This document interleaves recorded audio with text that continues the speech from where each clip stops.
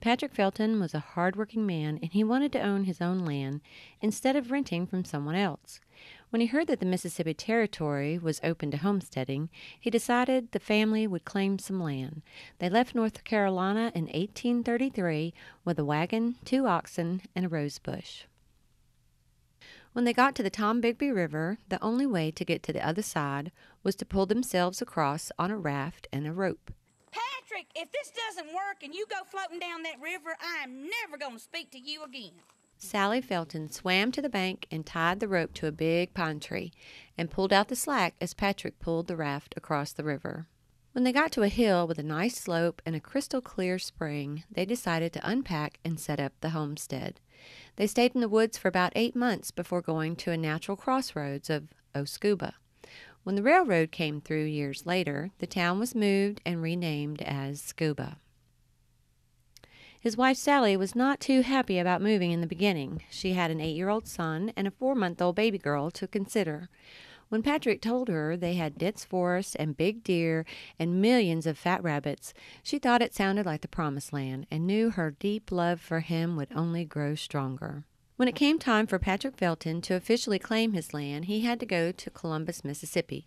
It took him nine days to make the journey as he found his way there on horseback. Granddad, uh, uh, Patrick and them owned a square mile of land.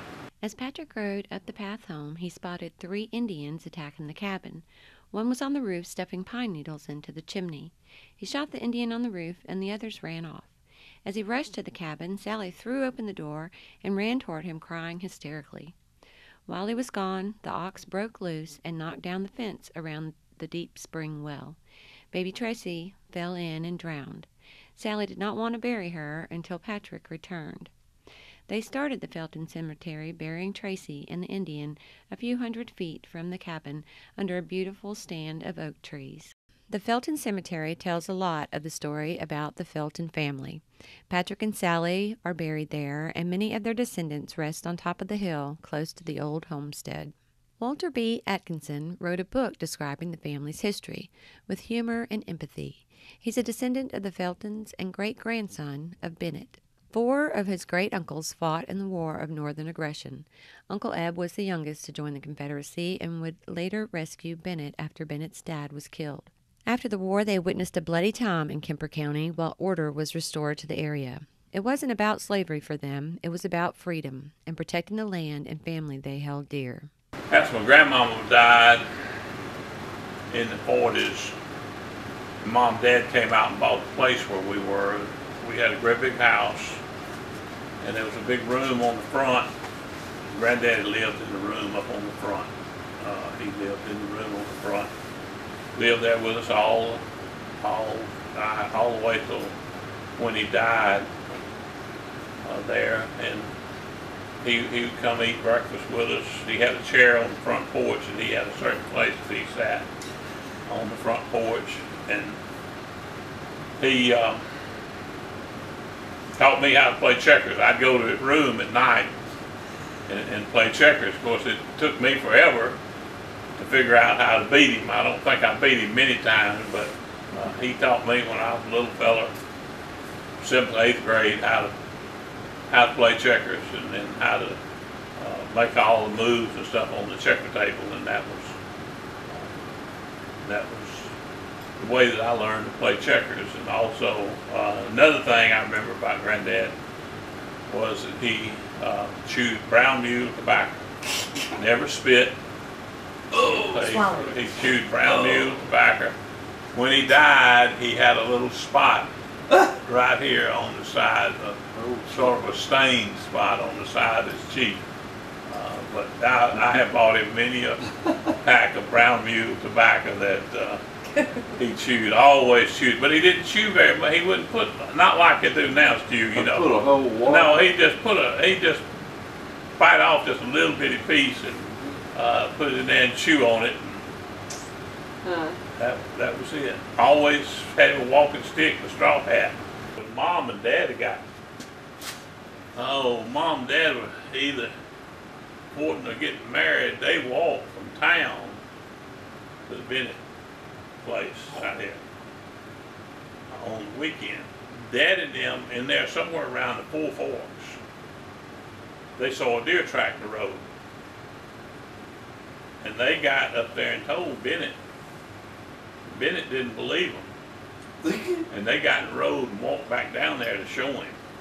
Uh, he walked with them back down there to show him because that would have been, that would have been right before World War II started. There were no deer in here, you know. And Bennett was quite the character. Several men came to Scooba on the train to foot race him. He beat everyone he raced until he got older, and even then would race the young boys in town and beat them. story goes, if I heard it correctly, that he laid down in the road and gave them a head start, and then he still got up and beat them. He attended Spring Hill Methodist Church when he didn't go to Wahalak Baptist Church, and that is where he met Allie West. They finally married on May 9th, 1915, by the Justice of the Peace, George E. Seipel.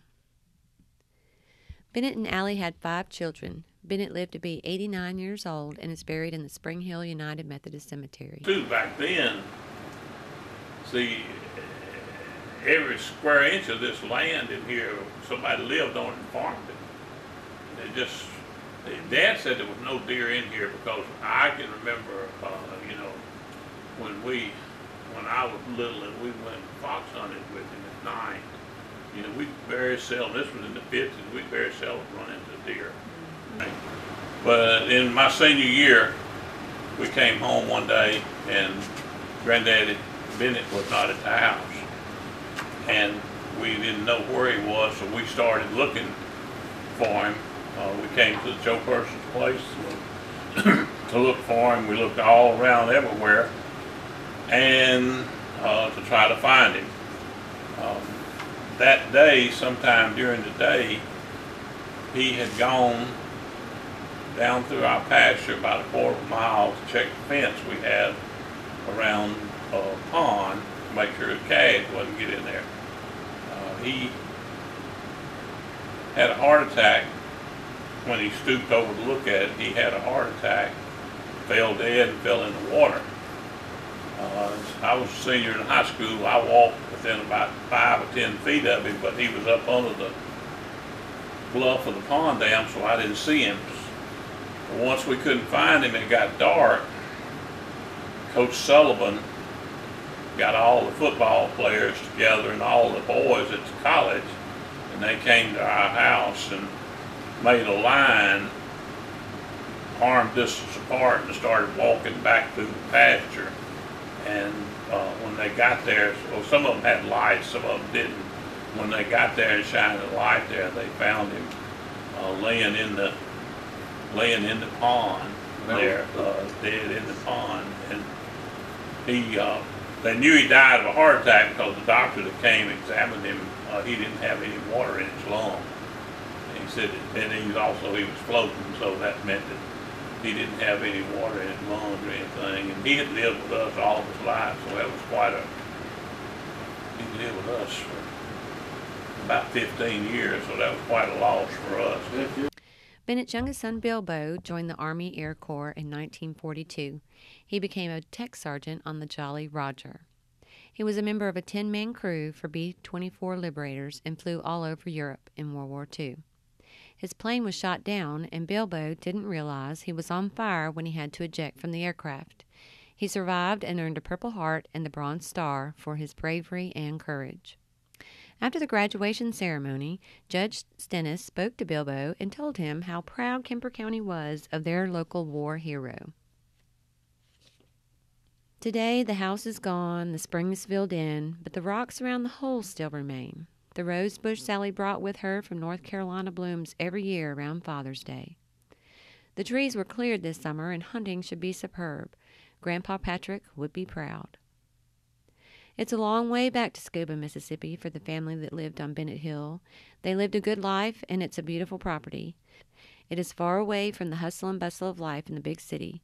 There's a peacefulness on that hill of family who loves as deep as the clear spring that ran beneath the hill.